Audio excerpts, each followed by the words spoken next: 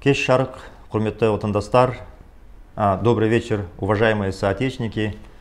Я сегодня хочу привести ряд примеров и а, провести пример, извините, провести эфир а, на предмет политического преследования гражданских активистов нашей страны. Дело в том, что нынешняя политическая система использует разные обвинения, но на самом деле суть э, в них простая. Суть в том, что эта политическая власть не дает возможность людям свободно выражать свое мнение, свободно говорить, свободно писать, участвовать в разных акциях, митингах, протестах и все прочее. Даже с пустым плакатом выйти это является преступлением – даже выйти с голубыми шарами, это тоже является преступлением. При этом мы все должны понимать, что в существующем законодательстве нет никаких норм, которые бы позволили бы принимать судебные решения, преследующие за вот такие действия.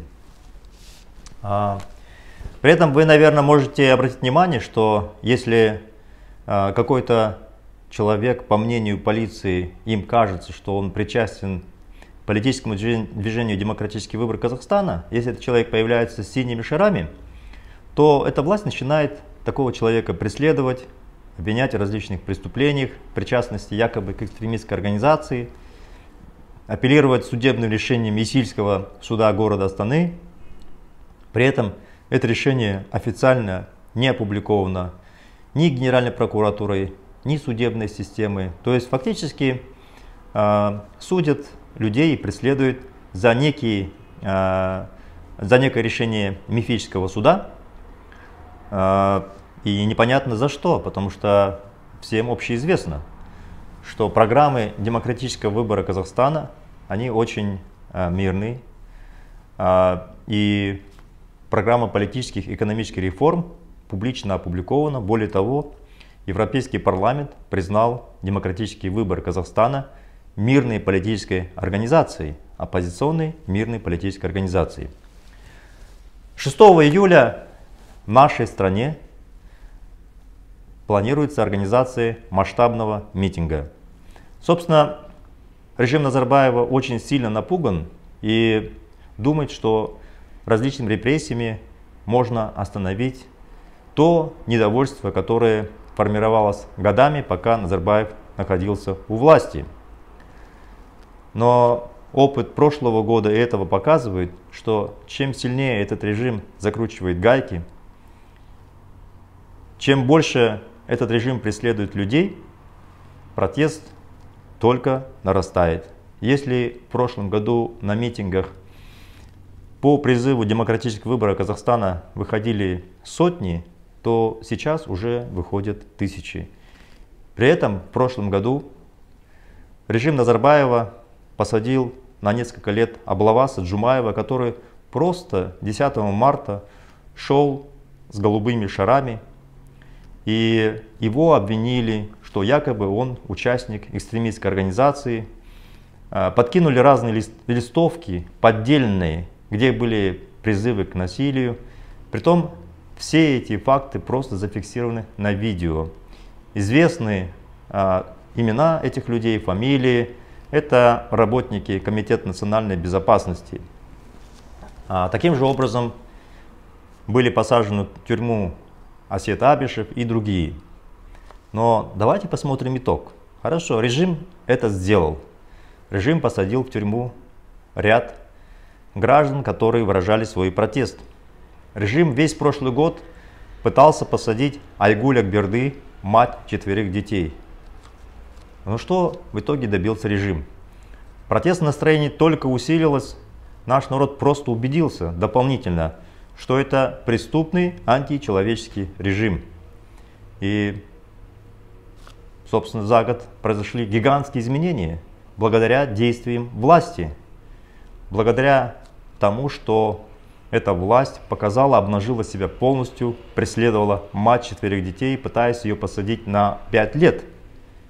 Но надо отдать должное судьям города Актау, которые отказались выполнить указание члена Верховного суда, по сути Назарбаева, который требовал посадить ее на 5 лет. Что сейчас происходит? Сейчас, в преддверии митинга 6 июля, нынешняя власть делает те же самые ошибки. То есть эта власть неисправима. Выводы может делать наш народ, если у кого-то было настроение, что вот изменится эта власть эволюционным путем, что постепенно, мягко, даже не слушая наши аргументы, что за 30 лет власть только отобрала все наши права, посадила людей в тюрьмы, убивала своих оппонентов.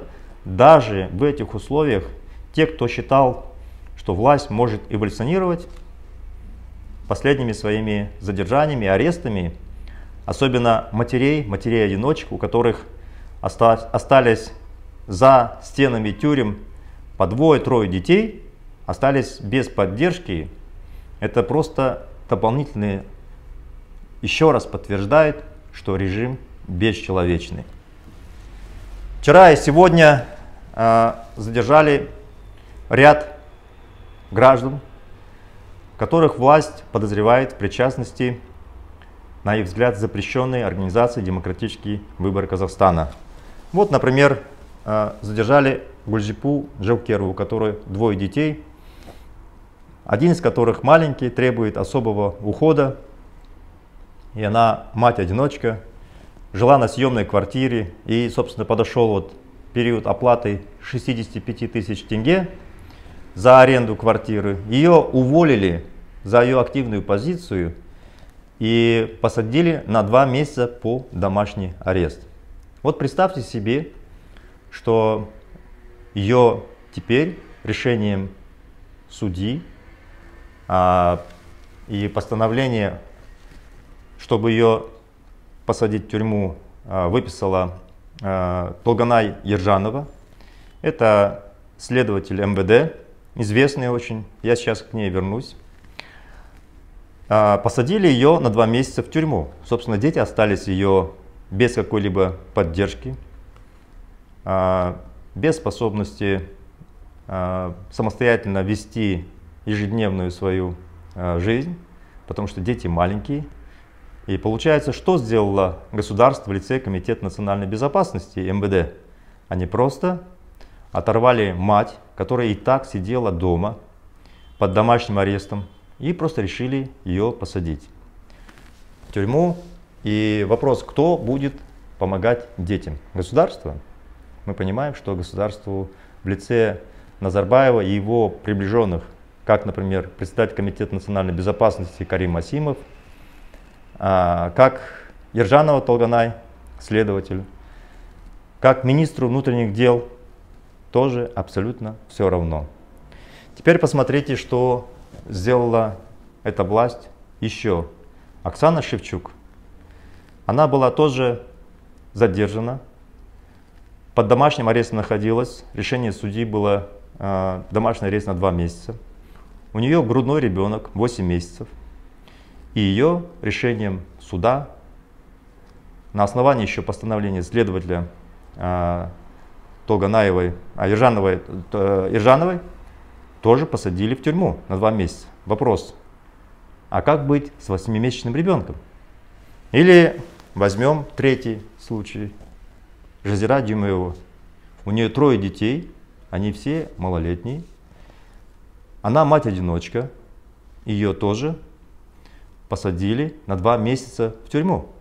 При этом она находилась под домашним арестом чем смысл всего это был, если эти женщины не могли участвовать в митингах 6 июля? Смысл был очень простой. Смысл был в том, что этот режим хочет устрашить людей, при этом вызывая обратную реакцию – гнев и ненависть. Гнев и понимание, что этот режим не имеет права на существование. Гнев к тем, кто принимал такого рода решения. Еще обратить внимание, что этих женщин, и там еще несколько человек, задержали на основе так называемого предположения следователя. Суть предположения заключается в следующем, что 6 июля, оказывается, по призыву демократического выбора Казахстана, пройдут несанкционированные митинги в нашей стране. И вот эти женщины, на взгляд полиции и Комитет национальной безопасности, якобы расклеивали листовки с призывом прийти на митинг. И оказывается, в связи с этим могут возникнуть беспорядки, которые угрожают безопасности жителей Алматы. Вы вдумаетесь? Предположение следователей, а как быть с теми митингами, которые эта власть организовала в Алматы, в Астане, и где правоохранительные органы, почему там эти митинги, по мнению власти, не могли привести к каким-то беспорядкам. Ну, конечно же, они могли, по мнению власти, и поэтому в этих городах, недалеко от мест прохождения митинга, были стянуты большие подразделения полиции. И вот представьте себе, что вот по такого рода предположениям эти женщины посажены в тюрьму сроком на два месяца. Вот, собственно, что делает власть. То есть митинги, которые она проводит сама, это не является угрозой обществу никакой. А эти женщины в связи с тем, что на их взгляд распространяли листовки с призывом участвовать в такого рода митингах, оказывается, это может привести к беспорядкам. Более того, эти женщины находились под домашним арестом со своими детьми. Они никуда не могли покидать свое жилище. И что сделала полиция? Им подбросили листовки, им подбросили шашки синие и все прочее. Якобы, когда был ночной обыск, и помимо того, что обвинили, что они якобы распространяли листовки, а что за листовки? Вполне безобидные, а, с призывом прийти на митинг 6 июля. Даже если бы это были их листовки. А в чем суть преступления? Они что, какие-то террористы? Почему люди не могут призвать прийти на митинг? Уважаемые друзья, я хотел бы обратить ваше внимание, что все эти преступные приказы, безусловно, идут по указанию Нурсултана Назарбаева и, конечно же, нынешнего так называемого президента Хасамжамар Тохаева.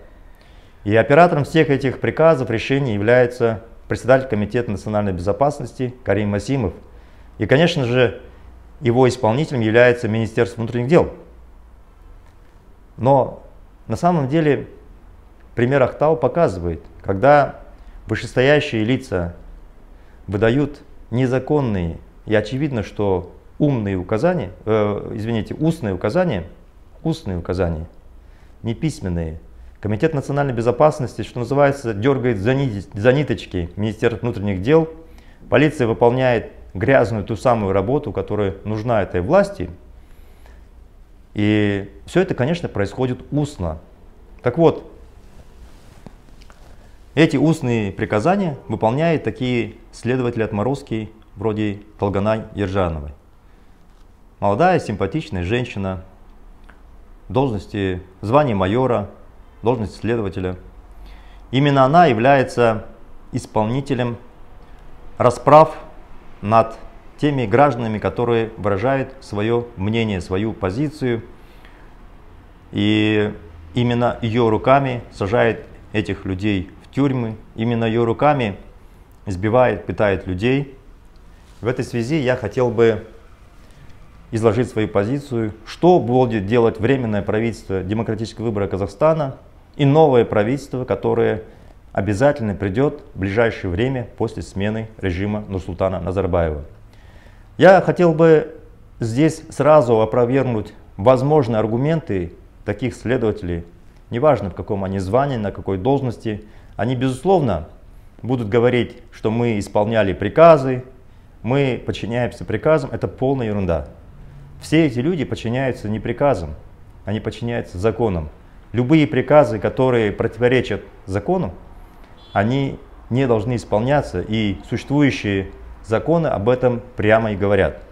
Тем не менее, эти люди живут, а, работая в сфере устных указаний и прямо нарушают даже действующее законодательство, которое фактически запрещает, запрещает преследовать женщин, у которых несколько детей, тем более они несовершеннолетние. Ну и самое главное, все эти следователи, судьи прекрасно понимают, что идет политическое преследование, преследование за инакомыслие, за убеждение. Я хочу привести пример э, судей Вахтал, которые отказались исполнять эти преступные указания, и Айгуля Берды не была осуждена. Дело было верно, э, возвращено на доследование.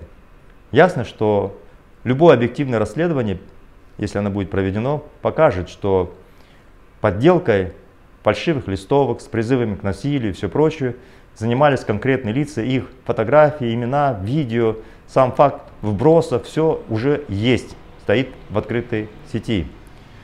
Но факт остается фактом. Судьи отказались исполнить приказ сверху, и Айгуль на свободе. Дело в том, что ни Карим Масимов, ни Назарбаев сами же не могут арестовать. Они дают только устные указания. И вот такие псы режима, вроде Толгана Ержановой, они просто бегут и исполняют, заведомо зная, что это преступные приказы, они нарушают даже действующее законодательство, даже те законы, которые приняты Нурсултаном Назарбаевым. Но судьи же в Актау этого не сделали. Поэтому оговорки о том, что мы исполняли какие-то приказы преступные, мы просто офицеры, конечно, не будут приняты.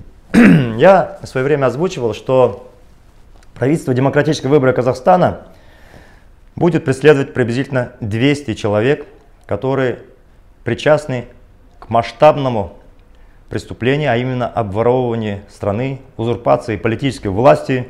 Это сам Нурсултан Назарбаев, его ближайшее окружение, его родственников. Их не более 200 человек. Почему мы эту позицию озвучивали? Мы должны строить новую страну, мы не должны устраивать охоту за ведьмами. Я озвучивал, что Нурсултан Назарбаев у власти 30 лет. За эти 30 лет он коррумпировал практически всю страну. так или иначе, многие наши граждане давали взятки, так или иначе они участвовали а, в коррупционных так называемых преступлениях, потому что весь режим разложил страну. Ну, 30 лет. Это фактически считайте, что нет людей, которые так или иначе нарушали законы страны. И поэтому здесь надо поступить очень просто. Выбрать главных виновников того, что произошло в нашей стране. Это приблизительно около 200 человек. И их нужно наказать, посадить на длительные сроки в тюрьму, конфисковать ворованное имущество и не устраивать охоту за ведьмами. Но теперь давайте мы поговорим о другом. Есть же за списком этих 200 человек те люди, которые исполняли и исполняют преступные приказы. Еще несколько месяцев назад, наверное, эти следователи, судьи, работники правоохранительных органов, наверное, бы с иронией, с насмешкой сказали бы по поводу того, что ответственности перед ними обязательно будет, ответственность за преступление, и что спрос с них будет, наверное, они несколько месяцев назад говорили бы с иронией. Но я не думаю, что сейчас они настроены иронично. Вы сами видите, как власть после 9 июня, июня смертельно напугана. Смертельно напугана она и сейчас перед митингами 6 июля. Поэтому я хочу предостеречь следователей, судей, работников правоохранительных органов, полицейских, предостеречь от опасного шага, я хочу сказать, что список 200 – это список политической верхушки. Он не касается исполнителей, таких как Толгана Ержанова и других. И сразу хочу сказать, что Толгана Ержанова, она уже стоит в списке тех, кого правительство демократический, демократического выбора Казахстана будет преследовать и накажет, безусловно. Наказание будет не просто административное, лишение прав, погон и все прочее. Ответственность будет прямо уголовная. Это касается и судей, нынешних судей, которые принимают преступные решения, заведомо зная, что идет политическое преследование наших граждан. И не спасет их ни мантия, ни ссылка, что им позвонил по телефону председатель Верховного суда или их вышестоящий начальник – я хочу вас предостеречь, предостеречь судьи, и работники правоохранительных органов, что ответственность, безусловно, наступит. Безусловно. Вы можете попытаться уехать, все прочее, но вы не сможете долго прожить за пределами страны, как думает, сможет сделать Нурсултан Назарбаев, который обладает состоянием 200 миллиардов долларов. У вас таких денег все равно нет. Поэтому я хочу просто предостеречь и сказать, ответственность не за горами. Уважаемые друзья, 6 июля мы призываем вас выйти на общенародный освободительный протест в Остандек. Вы прекрасно видите, что действующий режим непрерывно обманывает. Совсем недавно Касымжамар Тухаев объявил о якобы списании кредитов. Вы все сейчас поняли, что это очередной обман. Когда Токаев говорит, что он будет придерживаться курса Нурсултана Назарбаева, будет продолжать развивать, то есть вы должны для себя понять, что 30 лет Нурсултан Назарбаев фактически убивал нашу страну, и Касымжумар Такаев просто продолжатель этого курса. И, соответственно, вы понимаете, что вот эти все аресты и запугивания, они не прекратятся. Маховик репрессии они будут постоянно развивать и продолжать. Наша задача кардинальная – добиться смены режима, арестовать политическую верхушку и привлечь к ответственности всех тех, кто выполнял их преступные указания. 6 июля в 19 часов по всей стране мы призываем вас выйти на митинги и в конце концов прекратить этот беспредел мафиозной власти. Алга Казахстан.